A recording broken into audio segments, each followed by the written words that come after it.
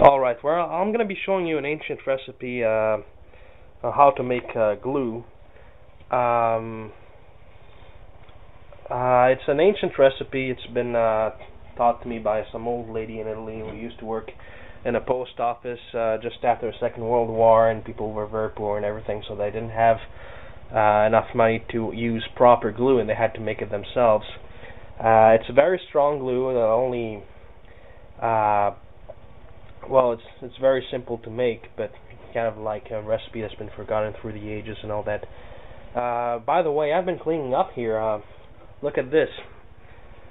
Spent uh, quite a bit of time, and well, uh, it's a lot easier to breathe here now. You know, I don't have to use a gas mask, and well, now I'm gonna have to clean up uh, all this stuff. I don't dare uh, show you the bathroom though, because um, well, there's something unnatural in there. Uh, so uh, first, uh, I'm gonna need some water. Wait a minute. Uh, sorry about that. The camera died. Uh, the batteries, rather. Um, this is a very bad camera uh, that I'm using, and um, after like I don't know a few minutes, even if I have new batteries, they just die out. So anyway, and uh, so this recipe, um, it was originally used uh, in the post office uh, to glue uh, stamps uh, on envelopes. Okay, and uh, it, it was pretty strong. Like um, basically. Um, whenever um, it was ready, uh, they would, you know, put the stuff on envelopes and everything, and uh,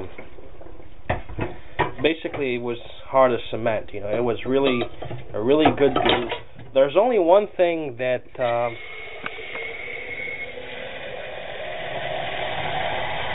that isn't really good that well the only weakness basically is that uh, this kind of glue is um, it doesn't last uh, long so when you make it you're going to have to use it within uh, the same day.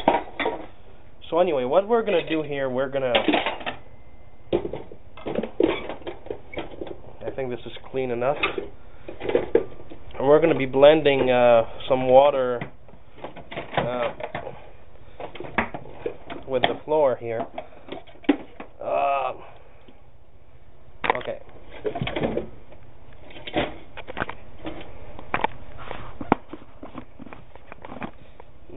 this is uh, Robin Hood uh, enriched uh, floor or something like that. I'm not using the original package because uh, that would be a copyright violation, and I would have like cops, you know, like uh, destroying my door and coming in and and shooting me or something, and uh, like then you know they're gonna arrest me and and like you know rape me or whatever and and force me to sign a confession. I don't know. So instead, I'm just using this uh, peanut butter uh, box. So you put some flour, uh, water. Wait a minute. Anyway, uh, heard a story recently about this guy. Um, he uh, he married a girl, and um, well, they've been married for a while. But the thing is that they weren't getting along. Okay, so uh, they separated, and that guy was uh, dating another girl for something like 20 years or something, but he never married her. So he was um, he was still married to the first girl, but uh, you know it's been like 20 years. They hadn't seen each other for all that time, and basically. Um, maybe I put put too much water. I'm not sure. Anyway, and basically what happened was um, uh, when he died, he left a will, and uh, the two girls had the the same first name. So he uh, wrote in his will, you know, I'm going to leave, you know, properties, whatever, to my dear, and he wrote the first name, and then both women, you know, went to court, and you know they were. Uh, they, they both said that they're, you know, the dear one, you know, the uh, the second girl was like, well, he's been living with me for 20 years, so I'm his dear whatever. But the wife, you know, say, yeah, I know, I know, I haven't seen him for 20 years, but I'm his wife, so I'm obviously his dear. So the judge had to decide which one was the dear. Anyway, that was pretty stupid. So we're gonna blend this.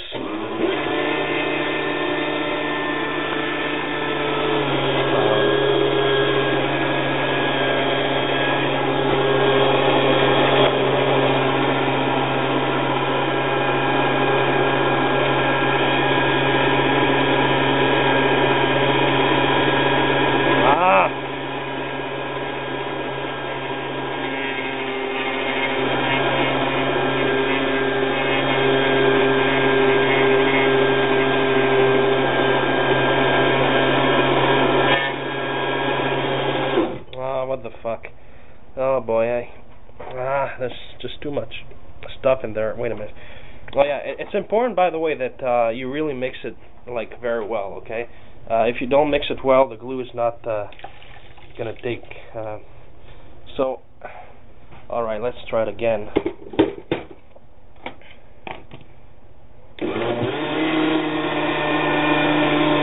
All right. Now what we have to do is uh, boil it. Uh, but it's best if we boil it uh, very low. Um, so at, uh, at uh, a minimum temperature. And uh, while we're boiling, boiling it, we have to stir it, but very slowly and repeatedly. So put the glue in here. Well, technically it's just water and flour, but it, it's going to, to make a very good glue. So, um, put here um, just around the minimum. So what would you what you're gonna do? Okay, basically, um, uh, you need uh, something to stir with. Um, okay, well the spoon's gonna it's going to be okay, I think. Not sure what the white stuff here is. Um, anyway, um, and um, okay you're while it's boiling you're just gonna mix like this you know little by little.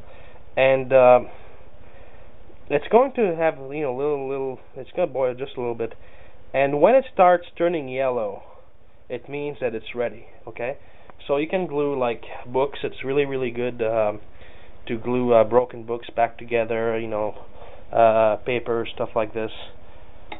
So, uh, well, we're just gonna wait because it takes a long time. Anyway, I was watching the um, the movie uh, Titanic recently, and there was a scene that caught my attention.